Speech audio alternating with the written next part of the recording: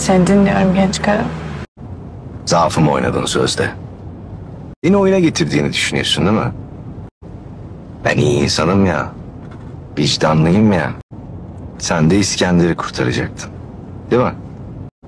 Seni kurtarmak için parayı verecektim. Ama ben O zaman niye? sandığın kadar aptal biri değilim İmre. Vicdanlıyım çünkü. Zaaf olarak da görüyorsun. O da değil.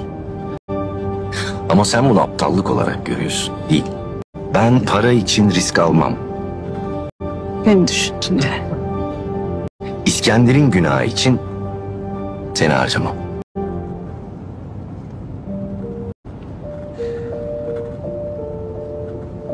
Ne oldu dikkatim dağıldı. Evet.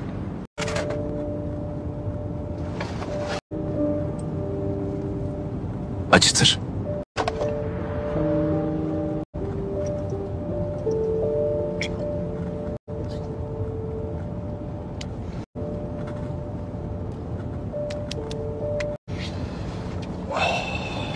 Devran'ın zaferi İskender'de öyle bir hezimet yaratır ki bu defa oğluna sert bir baba nasihati vermeye karar verir.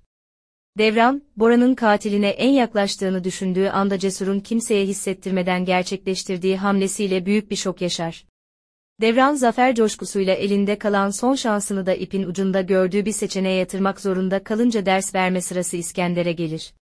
Bu defa babalık sınavını veren Sofi olur ve Devran'ın yardımına koşar.